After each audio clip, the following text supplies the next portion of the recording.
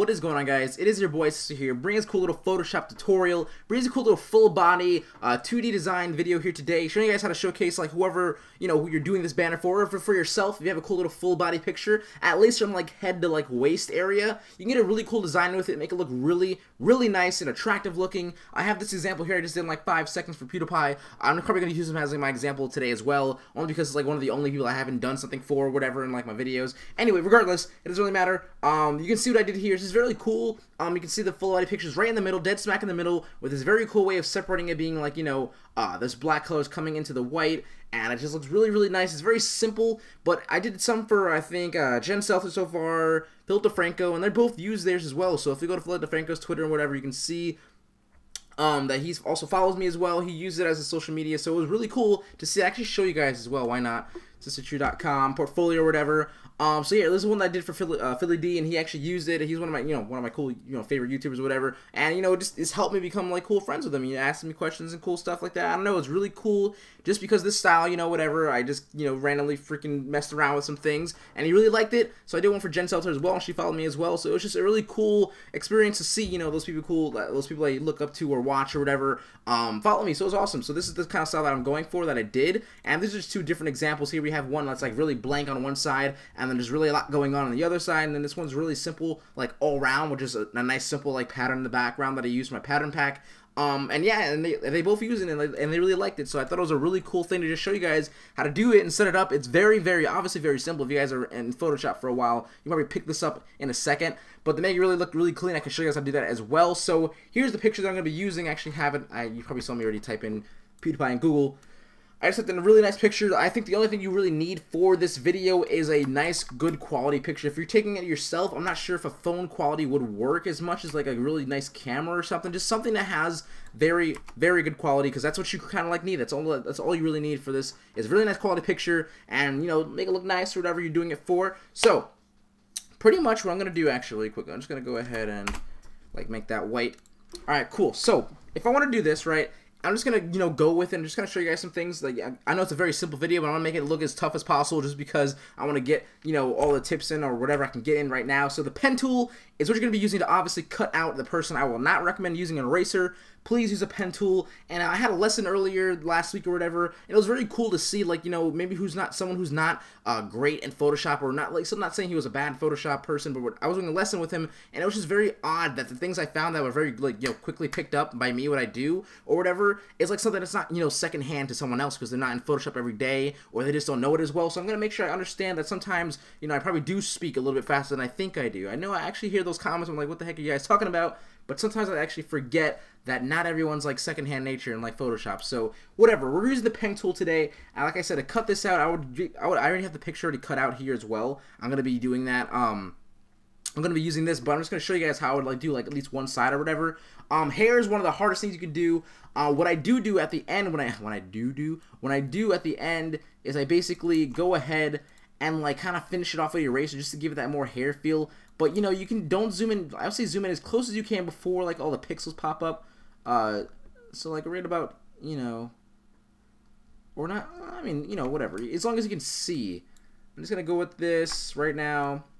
And I printed this out pretty well last time, you know, so I'll try and do it again. I was gonna have really spiky hair. Uh, you know, try not to cut too much of his hair out, not too much of the original photo out. I don't know, it's just very here because there's too much pixels. I kind of want to see what I'm doing.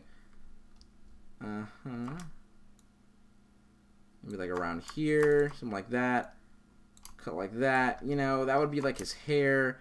I don't know, I cut a lot here. I'm not taking as much time as I should be, but you know, I'm just gonna add a point there, put it there as well if I needed to. Um, I would say just try and make it sure it's as, it's as perfect as possible. Uh, for really quickly, if you guys really don't know what the uh, pen tool is, um, you can get any you know curves or whatever, like his jacket curve right here that I would get. Is I basically click, hold, and I move downward or upward or whatever, just extend the points. You can see these two extended points come out. I can hold control. I can click on either extended points by holding control and moving them. I can move them if I'm just holding control or command, I think, on Mac. Uh, I don't know if I actually don't really know, but anyway, uh, command or control, excuse me.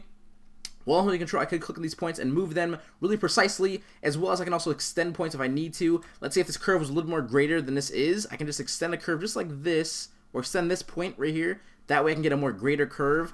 Uh, the, other than that, like basically that's really it right there. And I can just press Alt to close the other extension path. That's what I kind of want to do right now, just because I know I want to get like a nice little cut or jump here.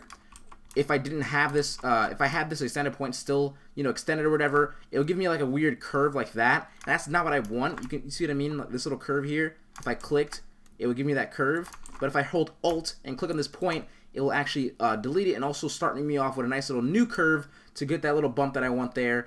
And then, of course, you know, whatever other than that, it's basically the same exact thing. You just rinse and repeat or whatever. I would say try not to click multiple times. That can look really, really messy and choppy when you're doing it. When you're pen tooling, just find a shape or find an angle and go for it. I'm pressing Control Alt Z, by the way, to go back.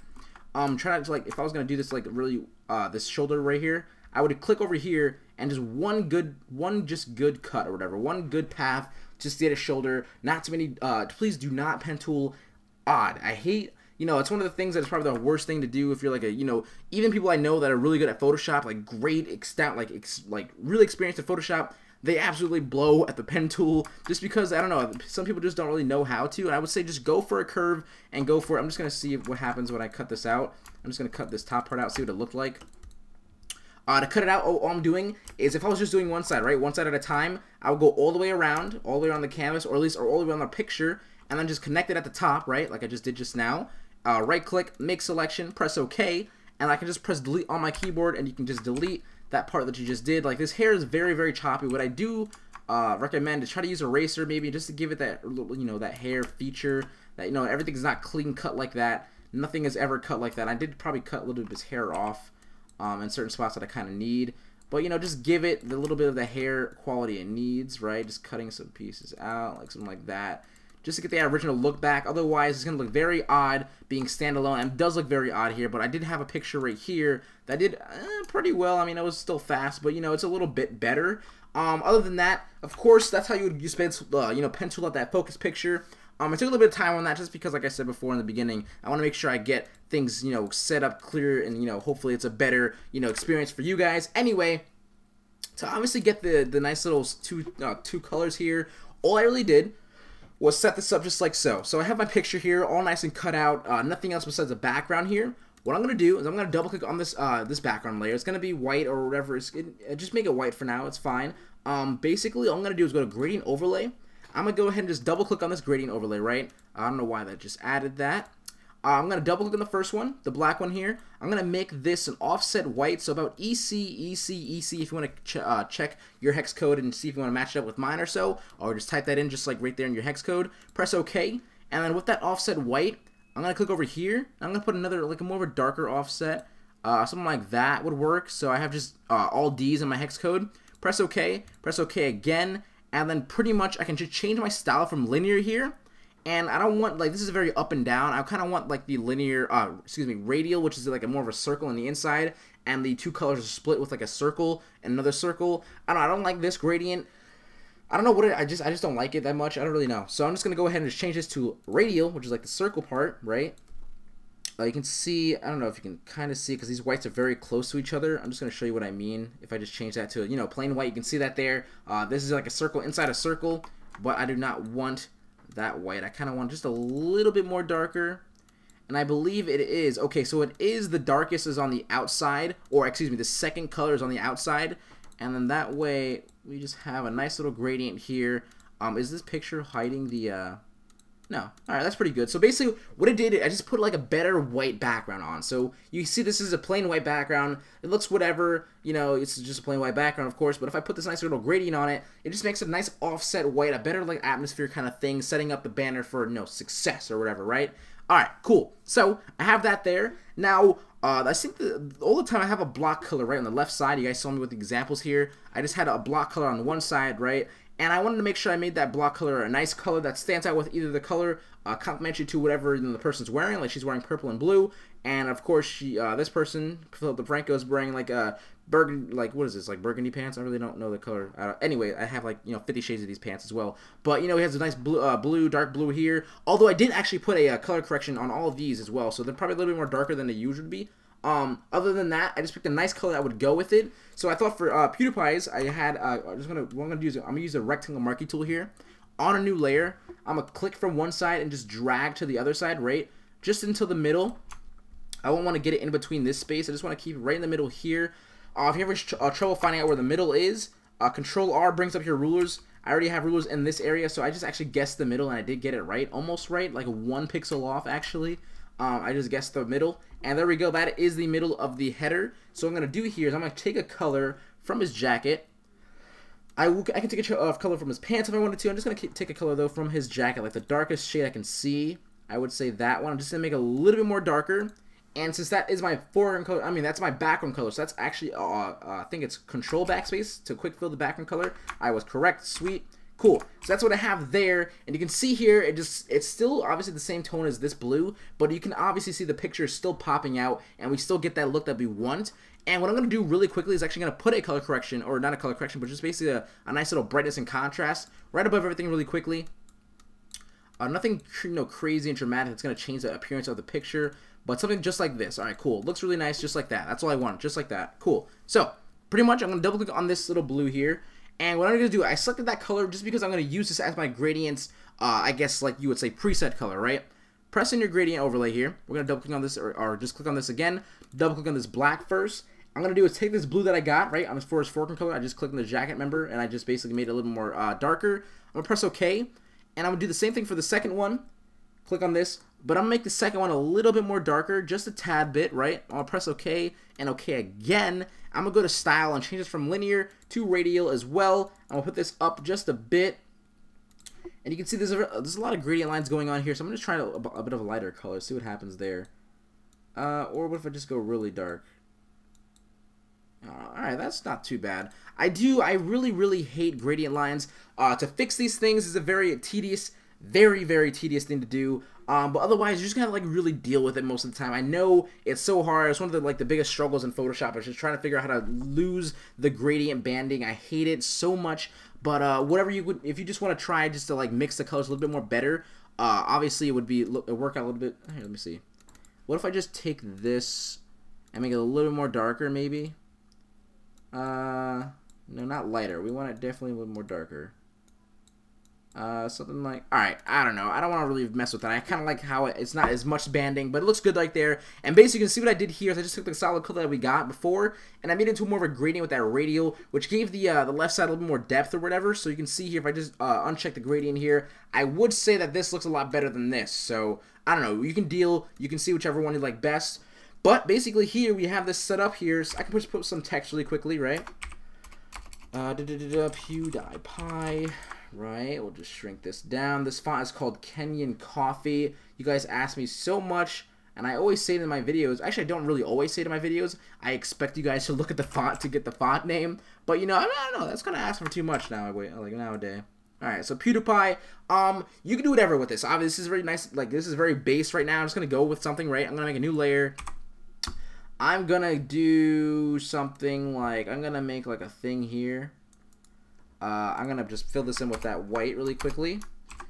And I'm just to cut like this side off maybe, right? I don't know, I'm just thinking of different things. Move it to the left. I did this before, right? Um, what I can do here is like put like what he is, right? He has a YouTube uh, game YouTube gaming commentator, sure, I think. Oops, don't discard. Uh, there we go. We'll just type that in for now.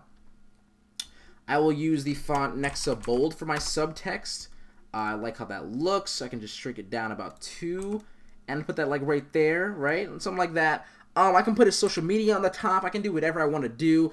I can also do what I did beforehand. I did a new layer. I just took like a rectangle, right? I took a rectangle, with the, which is the R, uh, M on your keyboard for the shortcut, the rectangle marquee tool. Click and drag over something, right? Uh, fill it in with any color, really. Just maybe just a white, right? Just to get this base going. I can put it on like cool overlay, make it like a line through it like that. I don't know, just different things. Learning just like right now, just experimenting. Um, Control T to free transform to bring up this box here. If I click like if I click somewhere around the like the right side or whatever, uh, the upper right, I can get this rotation tool right here. You see this is how my arrow changes from up and down, right? I can change the uh, the scale of this, or I can change the rotation of it, just like so. I can change the rotation, put like a cool little thing there, right? I can just make a little cool little strip going that way. I don't know, make sure it's as even as possible. A cool little strip going that way. Uh, you can also use my brush, uh, my excuse my pattern pack for this example. Uh, I can just use the pattern pack really quickly just because it's a very quick thing to do for patterns. Uh, I really do like it. I use it almost every single one of my designs. Uh, just use like something cool. Let's use something cool. Uh, I'll just use the regular squares for now. Something like that. Nothing crazy, right? Put the opacity back up. Uh, some simple squares. We'll just change that there. And under some uh, uh, I mean, I really, I don't really like how that looks. Uh, something like that. Maybe a little bit more better. Maybe I don't know. That the scale is completely off. I need to fix this. It's just like gonna hurt my eyes. Uh, put it back to 100%. And I'll think I'll move this down just like so. And then I'll move that there. Make sure we put this below that. There we go. So we got some squares going there. Uh, what I can do as well, if I really, really wanted some color in this background, I don't really have anything crazy, but what I did for the example, I just made a new layer. I used a rectangle tool, and I just basically clicked and dragged the entire way, and I just chose a color that I kind of see what if I wanted to like. Uh, we'll just use something like this for now. We'll just click and put it on for now. Uh, that green is nice. Um, it does still go, kind of. I kind of like how it just goes with this, like, white and this, like, really nice navy blue here. Change the color again. Let's just see what else we can get. Uh, I do like that green. I do like that lime green. I like that orange. That doesn't go too bad. What if I change the color of his pants? Uh, not too bad. Like a, a, lighter shade. Doesn't look bad at all either. Um, it all depends what you really want to do. Uh, kind of just want to stay with that green. For now, there we go. So right here, this is just basically how I'm going to start off my cool little design for the project, whoever I'm doing it for. I hope you guys did enjoy. Like, if I really didn't, maybe if I didn't have this color here, or these uh, rectangles, or squares, excuse me. Uh, where are they? Right here? Nope, not this one. Alright, cool. I can literally put like Abercrombie and Fitch like right here maybe and like, you know, you can see like an Abercrombie and Fitch kind of like model thing going. I don't know. It's a very clean and very like how prestigious looking design. I really, I really, really do like how it, uh, you know, came along. I do like the style as well. Apparently, a lot of people who are you know nice and popular, uh, like net celebrities, internet celebrities and stuff like that, I really like the kind of style as well. So you know, play with it, uh, make it your own, and I hope you guys really enjoyed today's tutorial. Uh, don't forget, guys, 200 likes on this video equals the secret down below. So please don't forget to leave a like. Thank you guys so much for all the support I've been getting lately, and I cannot wait to see what happens during this like cool. Uh, uh, I almost said summer, winter. Um, I'm gonna have a like, really crazy break, and I really, I'm gonna, like, I'm gonna, oh my gosh, I'm probably gonna upload even maybe three times a week. I don't even know. I really do enjoy this whole uploading on Friday and Monday thing, so I will see you guys on Monday with a new video. Talk to you guys later. Switch you out, and peace.